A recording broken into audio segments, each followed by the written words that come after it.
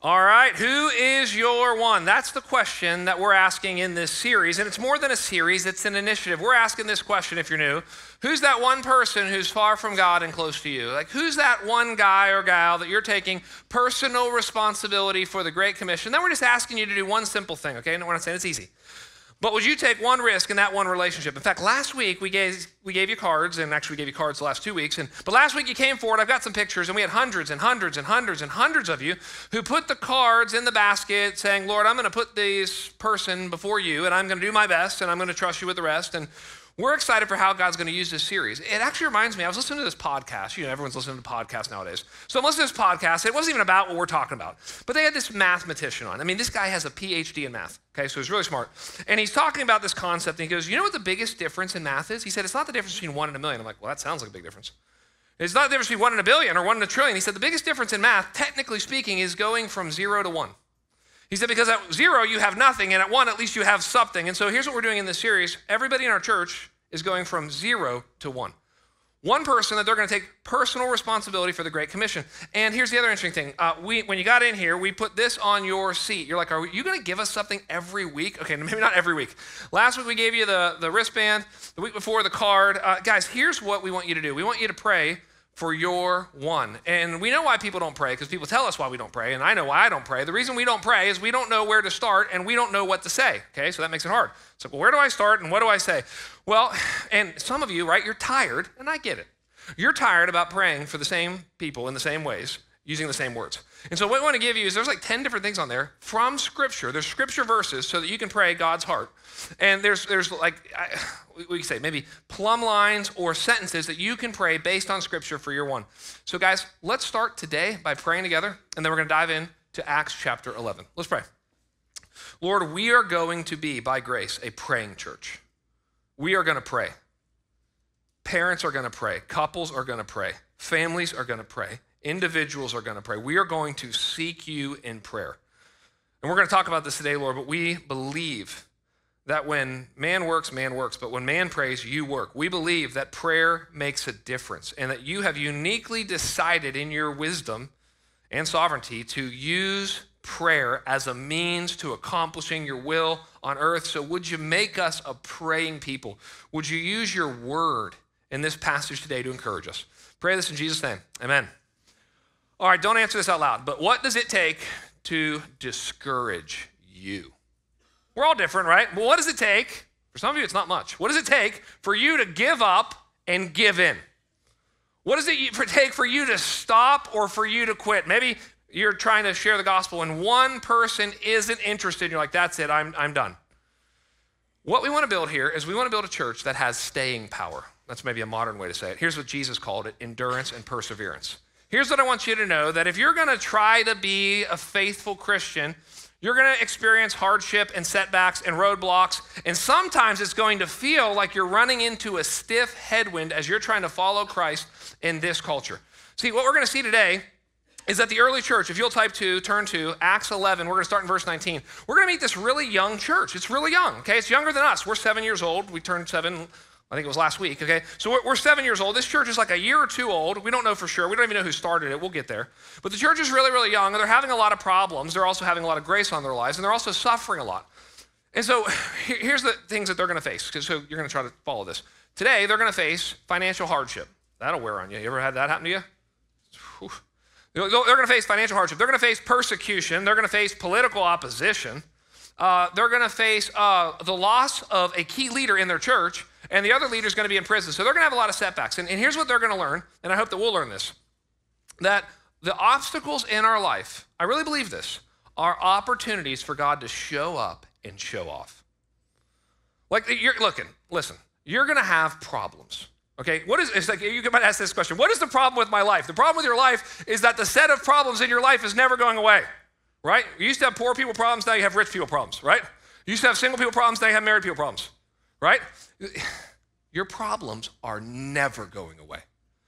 And so, what the, here's the lesson for today, because some of you may have to leave early, okay? And we're going to cover a lot of scripture here. Here's what we're going to do. The, the, the main message, and I'll show you this, it arises right out of scripture, is that our problems, which are never going away, and if we're faithful to Christ, probably only increasing in our lives, our problems should lead us to deeper partnership with other Christians and desperate prayer toward God. It's that simple. It rises right out of text. It's like, you have a problem, how should you respond? You should go to other Christians to help in partnership, and we should go to God in prayer. So let me show you this. Here, I'll show you what's happening. We got to get the context. Go with me to verse 19 of chapter 11. And those, these are Christians, who were scattered. Okay, so the Christians, they go and they start sharing the gospel everywhere. Why? Because of the persecution. Okay, so here's a hardship that arose over Stephen. Remember in Acts 7, Stephen preaches a sermon and he dies faithfully. He's the first martyr, but he gets all the other Christians connected to him in trouble. And what they notice is after Acts chapter 7, the persecution goes from being the, leaders and the apostles to being everyone. So here's what happens here. They traveled as far as Phoenicia and Cyprus and Antioch, speaking the word to no one except Jews. So here's what happens. How does the church get spread into other places? It gets scattered through persecution. So here's a couple things about persecution. First of all, if you're persecuted, and we're living in a society, I don't know what the future holds, and I'm not a doomsday guy, but I, we need to talk about this now so we're ready in the future.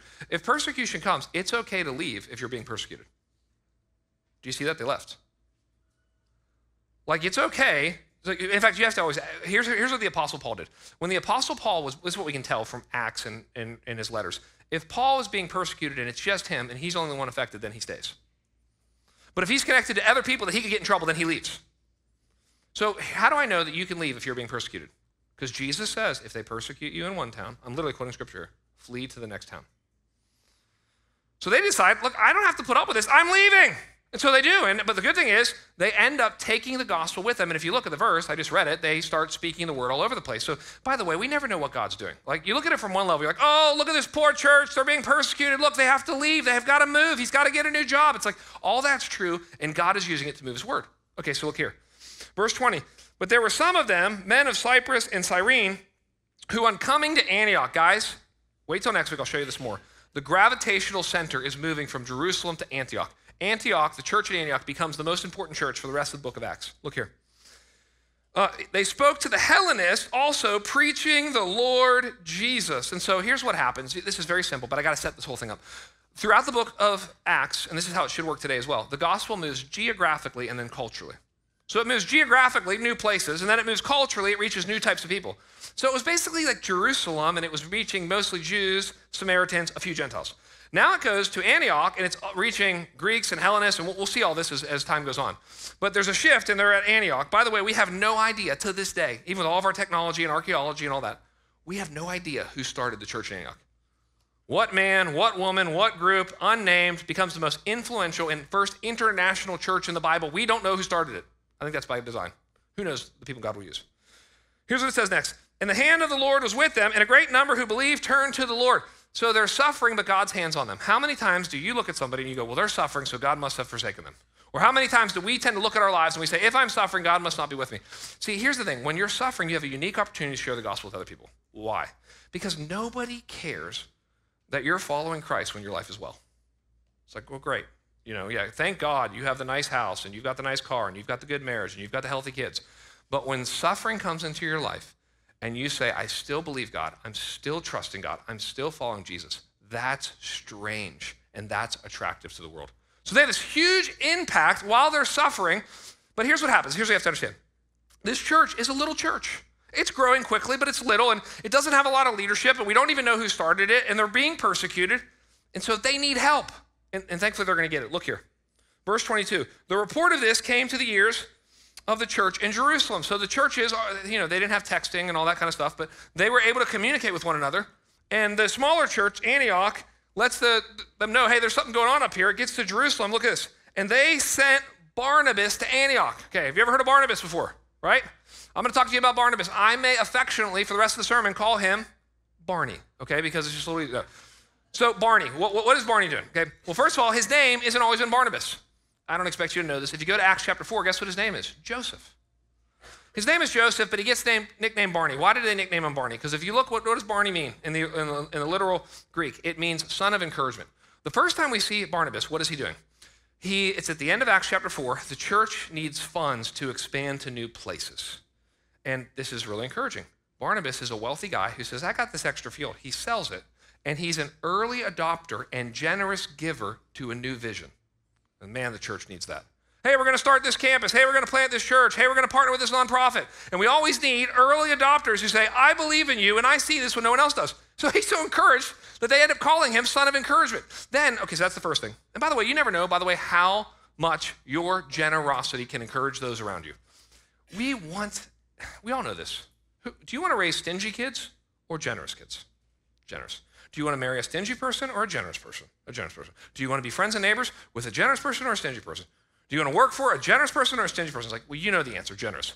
So generous people naturally encourage us. The second thing about him is in Acts 9. In Acts 9, this is important because it's going to come back to this. He meets Paul.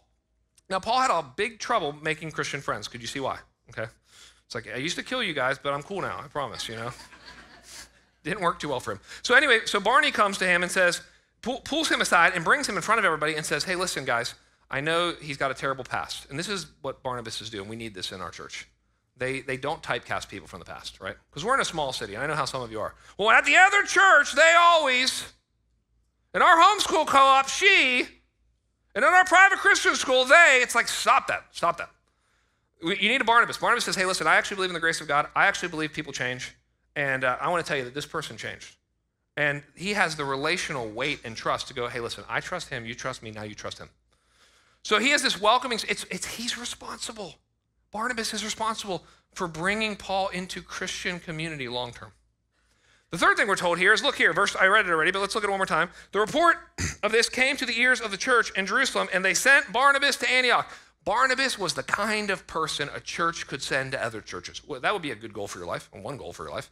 Okay, you're the, it's like, think about this. If we had to send somebody from our church, I don't know, we're planning something in Boone, and we're like, we need to see how it's going. Who could we send? It's like, well, what kind of person do you send? Somebody you trust. Somebody, actually, more importantly, trust is important, but who embodies the vision and values of the church. Somebody who is actually spiritually mature enough to know if it's a good work. Because they're basically sending them up there being like, is this prosperity gospel? I mean, are people coming to Christ? Is this easy believism? I mean, what's going on up there? They're like, they don't know. So they send a leader. So Barnabas comes up and then, he, guys, this is what we want. This is what we need. Look at verse 23. Could you be a Barnabas? Okay? Like you should leave today going, I should be like Barnabas in my family. I should be like Barnabas in my workplace. I want you to see what it says. Look here, look here. When he came and saw the grace of God, he was glad. Can you see the grace of God in other people's lives? Because, guys, it didn't look like grace of God. Does, does persecuting look like grace of God?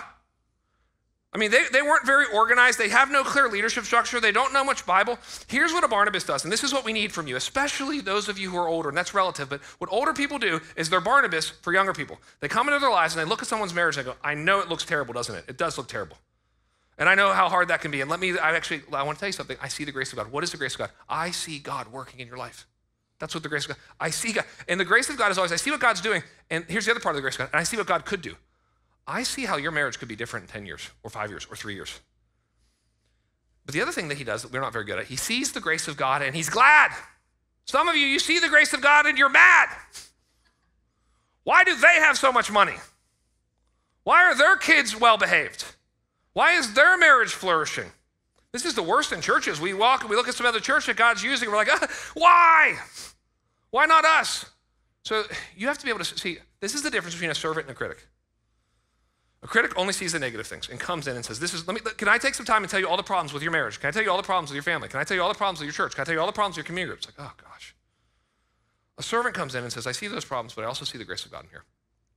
But he's not a pushover. Look at look at the same verse. He's not a pushover because some people are just nice, right? They're not that helpful because they tell you one side of the story. They're like, everything's going to be fine, you know? It's like, that's not helpful. Look what he does. Verse 23, and he exhorted them. Yes, by the way, it's hard to get this right, guys. Every parent knows this, every boss knows this, every leader knows this. Getting encouragement and exhortation balanced and living in that tension is very hard. So he encourages them, but he exhorts them. Look what he says. And he exhorted them all to remain faithful to the Lord with steadfast purpose. This is going to be important because what he does is he says, guys, get in here. I don't know how big the church was, but it wasn't that big. And he says, guys, I need to take something.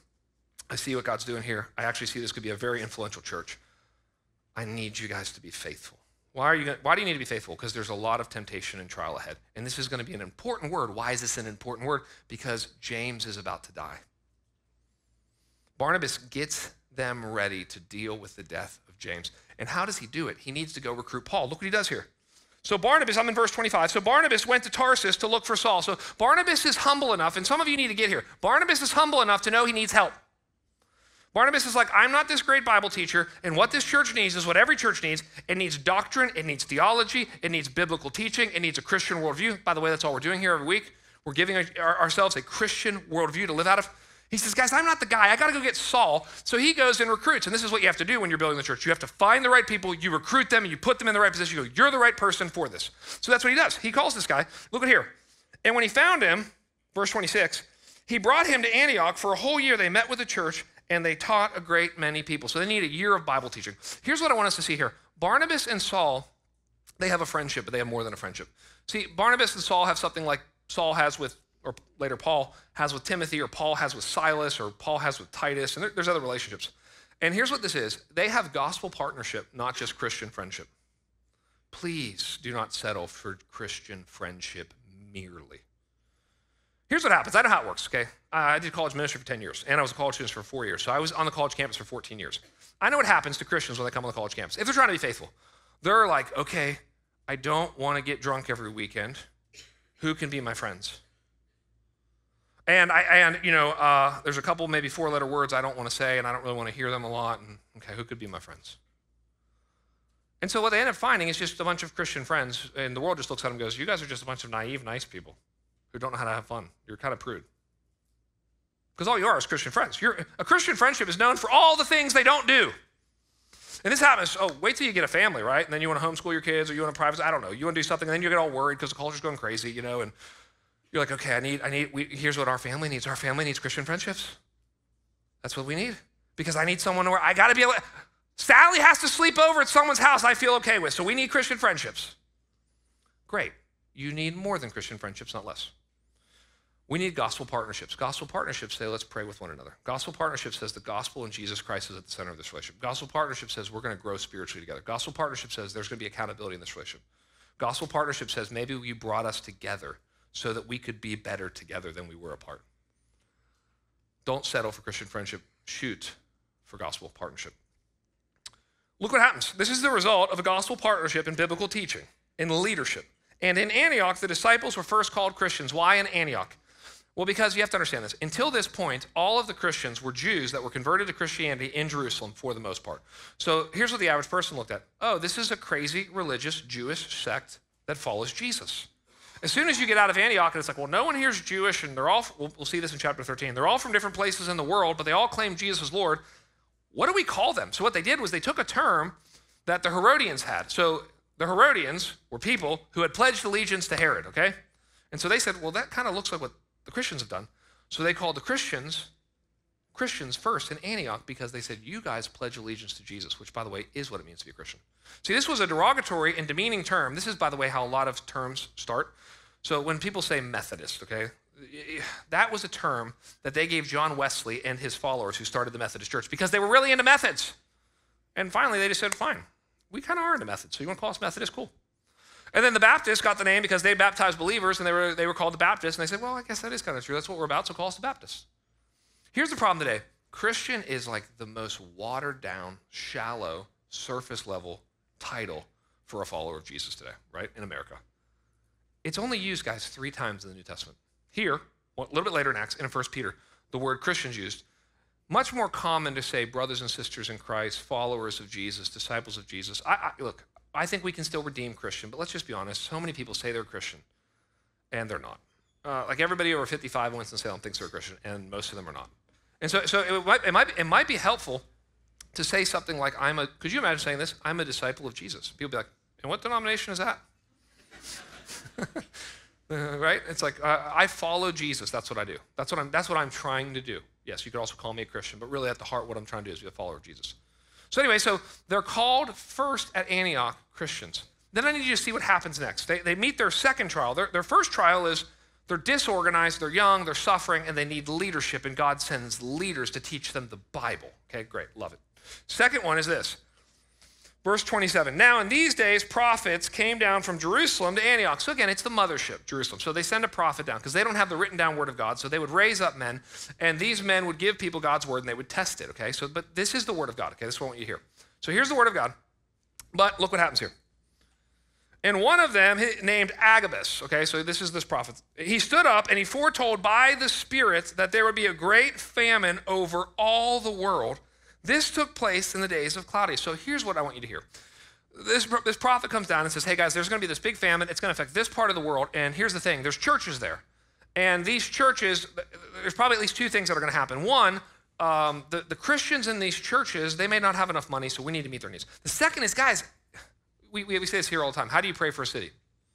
Who knows how to pray for a city? You pray for a city by praying for the churches in that city because the, the city will only be as strong as the churches in that city. So he knows also, guys, if these churches, if their lamp goes out, that city's done.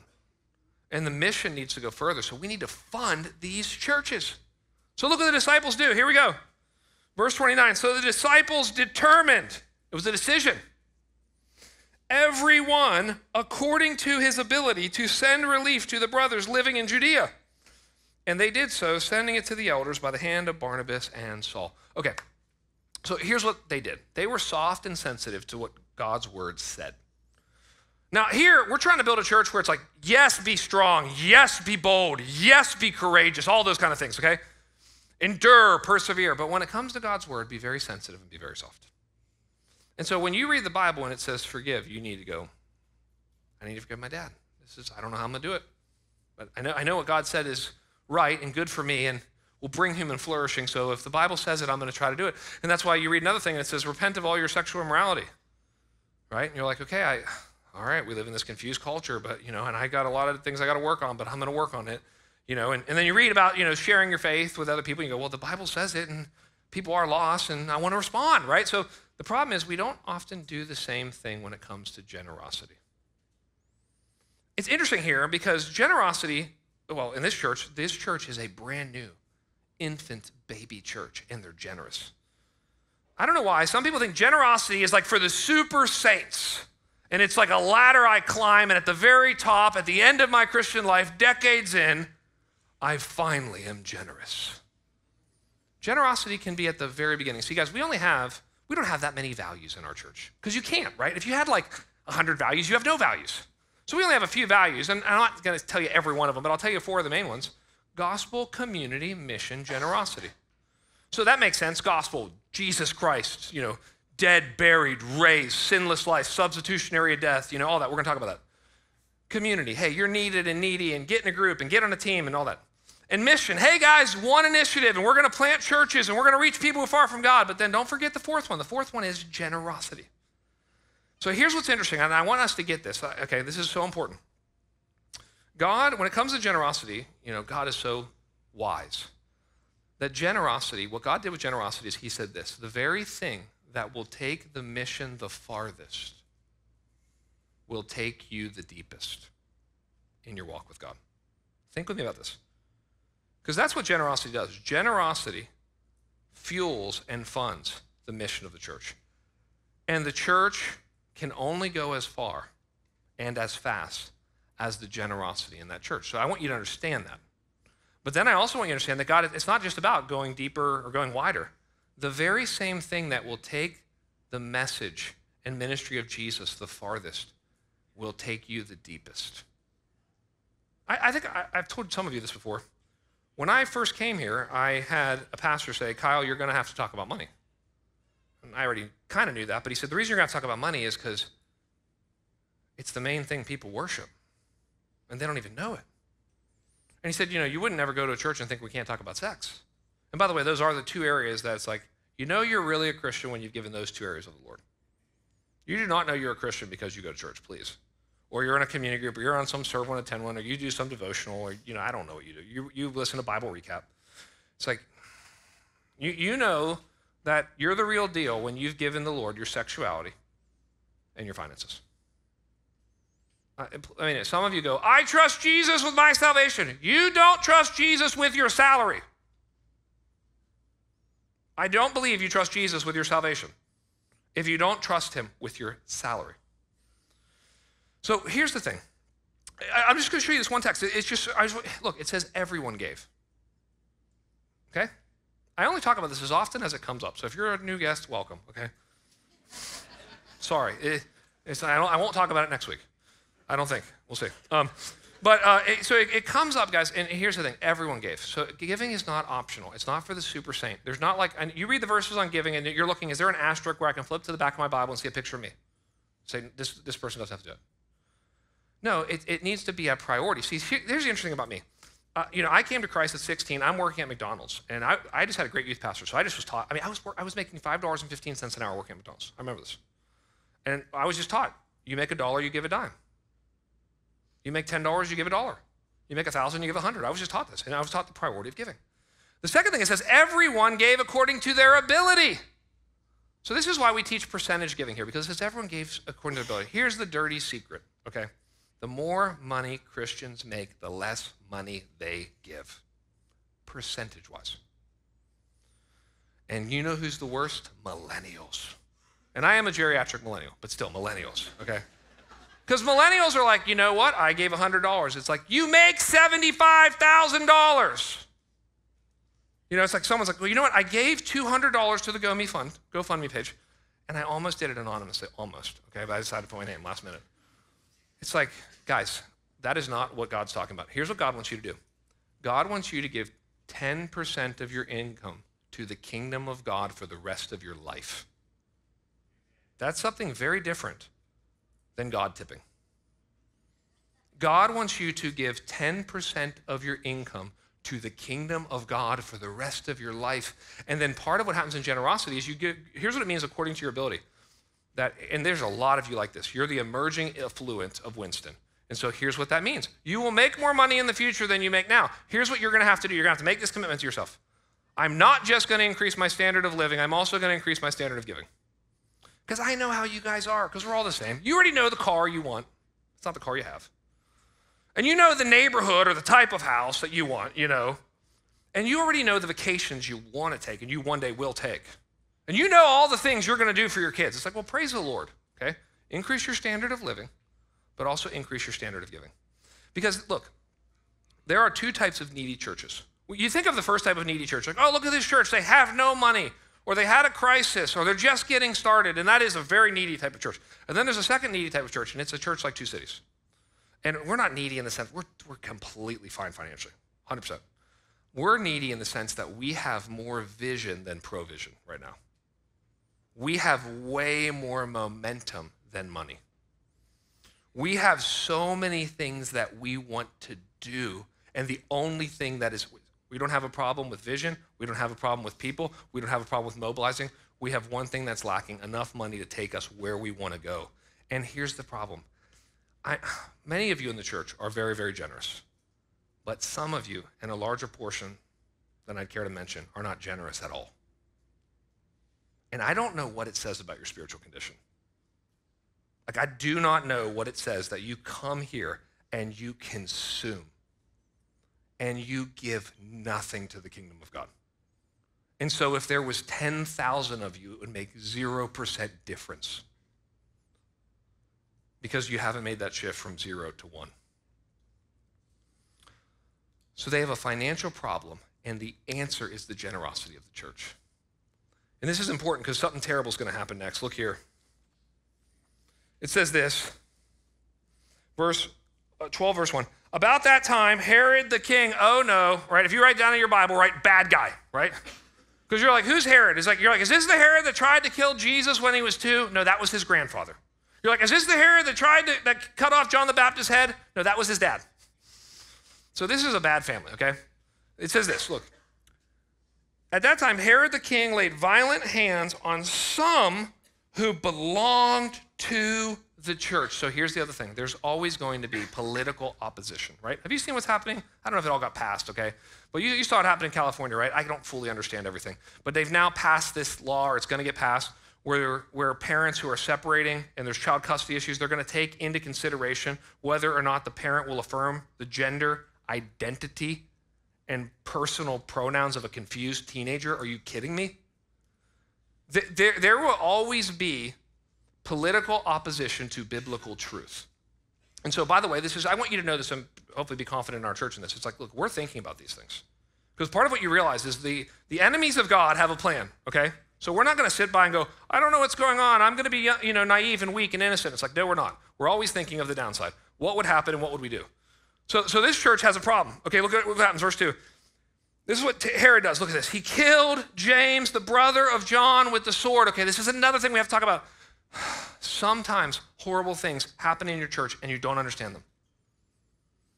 This is very personal for me. This is very personal for our church. If you're new, you don't know this. About seven weeks ago, we lost one of my best friends, one of our elders in the church. He died suddenly on a run. And I had all the same thoughts about him that I bet the early church had about James which is if you read James, you go, no, James doesn't die. Like, if there's one of the 12 apostles that doesn't die, it's James, right? I mean, you don't even, if I were to put you on the spot, I go, name all 12 apostles. You couldn't. Because most of them we don't even remember, but we remember Peter, James, and John, right? I mean, the, th- those three got to go to the Mount of Transfiguration. Those three got to come into the Garden of Gethsemane and pray. Like, they're in the inner circle. And think about how John's and James's, John and James were brothers. Think about how their mom must have experienced it. Because here's what's interesting James is the first apostle to die, John will be the last apostle to die. James dies right after Jesus dies and is risen from the dead. James doesn't get to write any books of the Bible. That's a different James that writes. Uh, it's like John gets to write first, second, third John gets to write. John gets to write Revelation. And so part of what you do in these moments is you just you just lean into the mystery of providence. You know, John Wesley said, I'm invincible until God calls me home. And so you, you, don't try to answer all the questions, right? Because if you try to answer all the questions, you'll just go to a darker place yourself. But what you can't do is you can't become bitter when terrible things happen in your life. And how do we know the church doesn't become bitter? Because in just a minute, we're going to see they pray for Paul to get out of prison. So what's going to happen is something terrible. Listen, you're going to suffer, obviously. Here's how you suffer you love a lot of people and you live a long time. That's all you have to do, and you're going to suffer because either you're going to get sick or someone you love is going to get sick or you're going to die, someone you love is going to die. It's going to happen. And so they're getting ready to experience this, and, now, and, and, and they don't become bitter because God didn't answer their prayer. Instead, they keep praying for Peter. I'll show you this here. Look here. So he killed James, the brother of John, with the sword. That's verse 2. Look at this. And when he saw that it pleased the Jews, he proceeded to arrest Peter also. This was during the days of unleavened bread. And when he had seized him, he put him in prison, delivering him over to four squads of soldiers to guard him, intending after the Passover to bring out bring him out to the people. Okay, so here's what happened. He wanted to kill Peter also, but he couldn't kill Peter because it was during the Passover, and the Jewish law said that you can't do executions during the Passover. So the only reason, humanly speaking, Peter isn't killed also is because of this. But again, it doesn't, it's not fair, right? It's like, wait, James dies.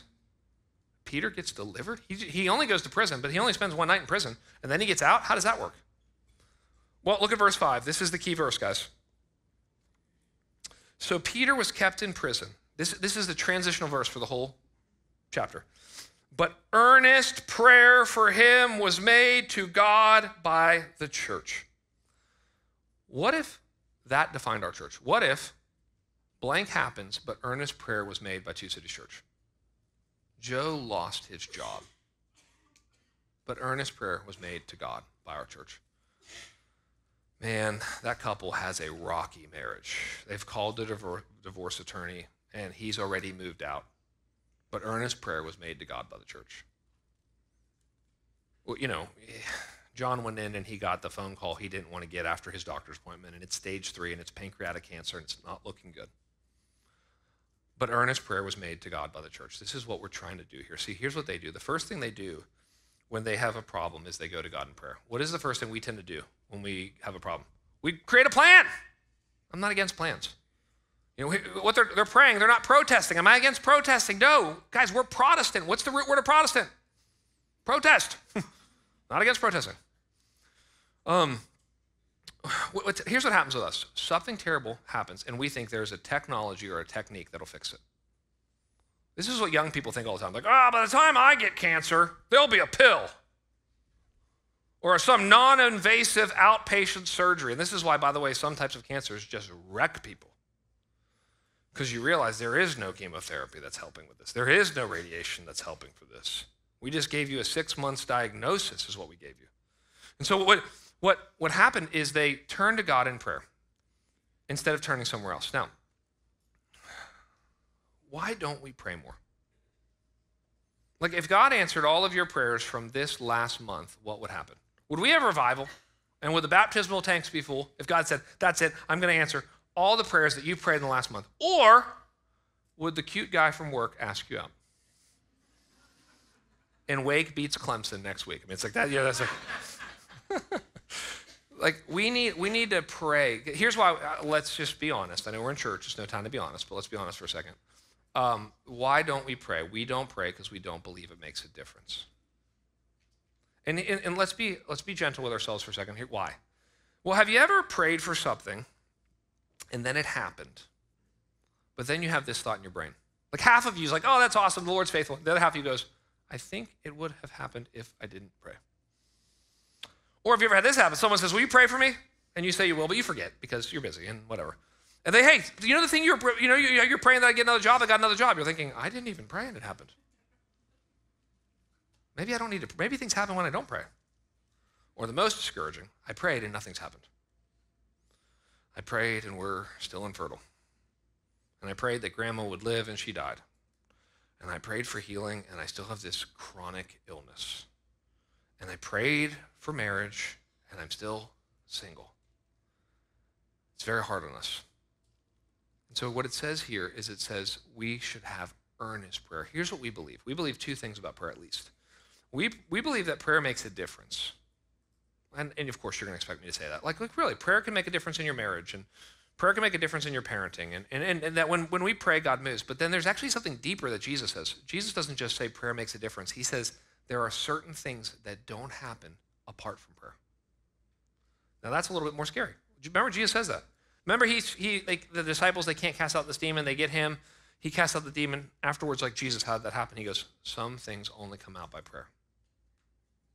So, I mean, there's a, I think you need to wear some of this by the grace of God. You need to feel the heaviness of this.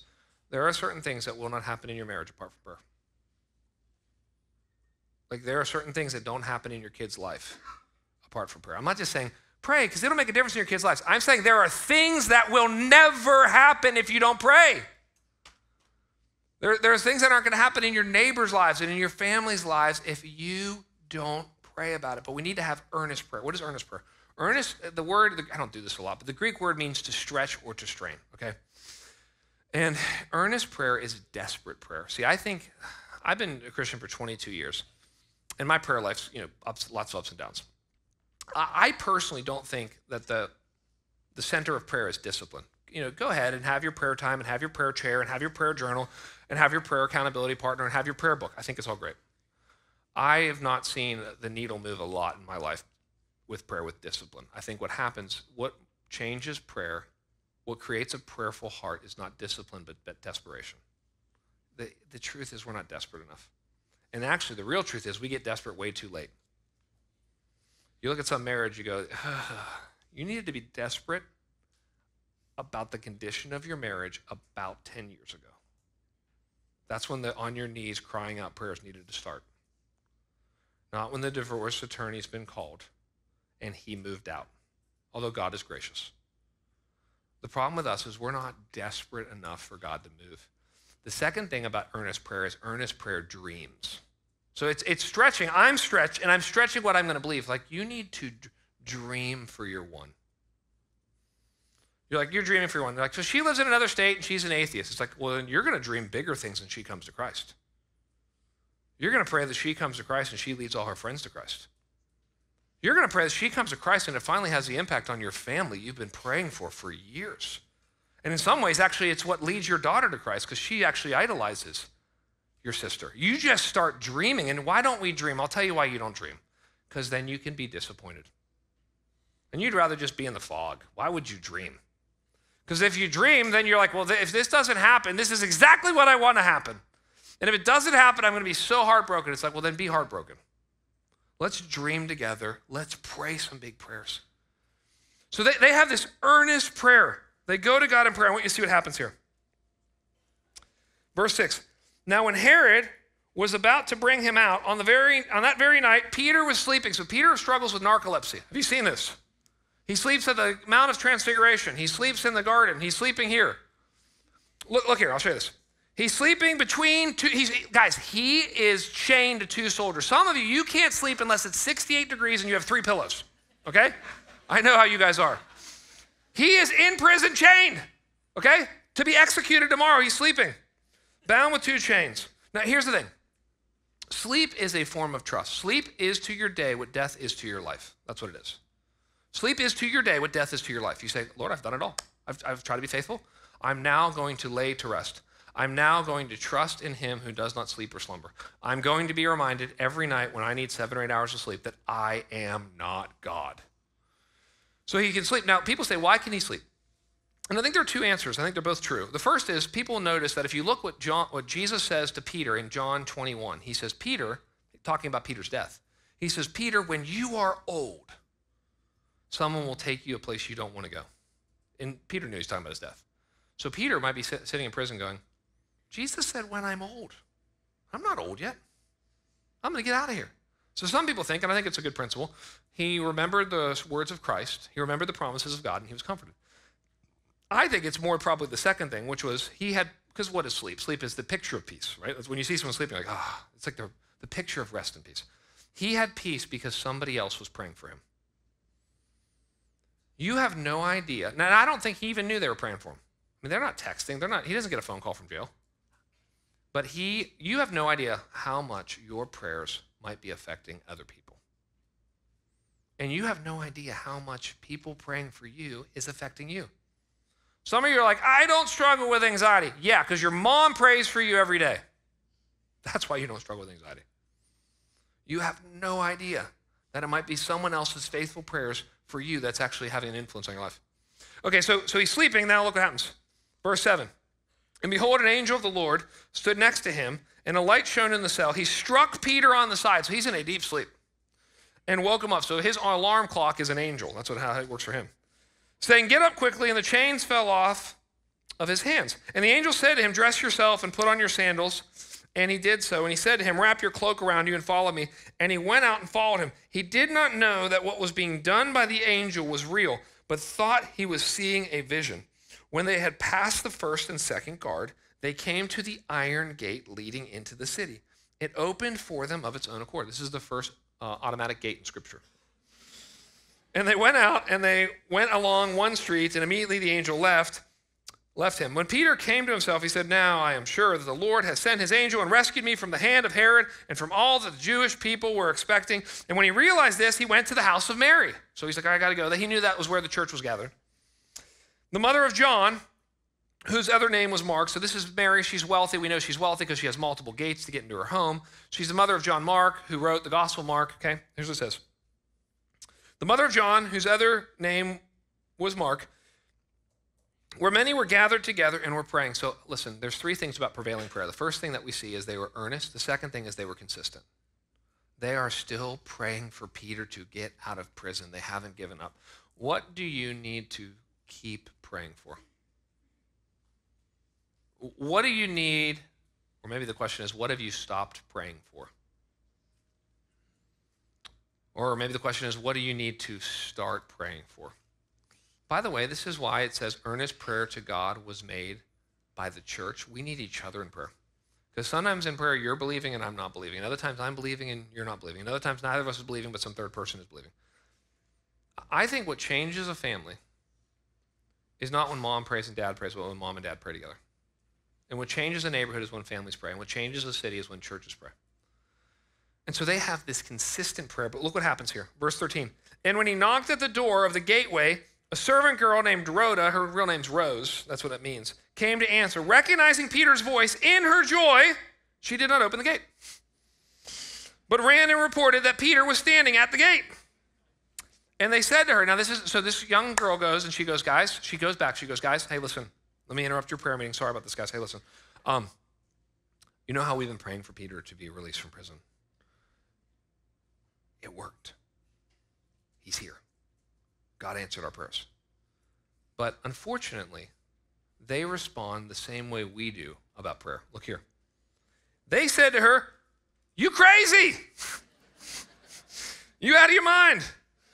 But she kept insisting that it was so, and they kept saying, It is his angel. Translation, it's his ghost. He's dead. It didn't work, guys.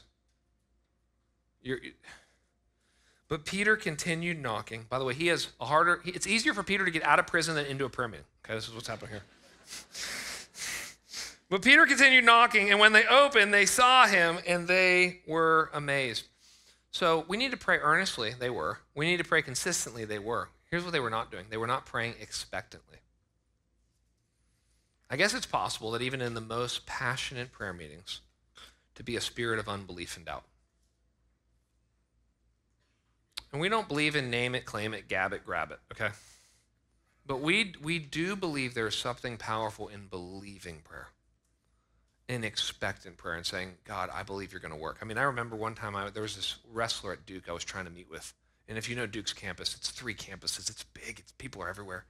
And I remember walking across campus and I was like, Lord, I want to meet him. I need to talk to him about uh, the gospel. And like one minute later, I see him walking toward me. I'm like, wow. And that's what we should be doing. We should be praying with our eyes open, looking for the answers. One of the things that will build your faith is answered prayer. And so you write, you, you have a prayer journal. Here's what I'm trusting God for. Here's what I'm praying for. And then you mark it when God answers it. And you share with others. So here's what happens. Here's how it ends. But motioning to them with his hand to be silent, he described to them how the Lord had brought him out of the prison. He had an answered prayer story.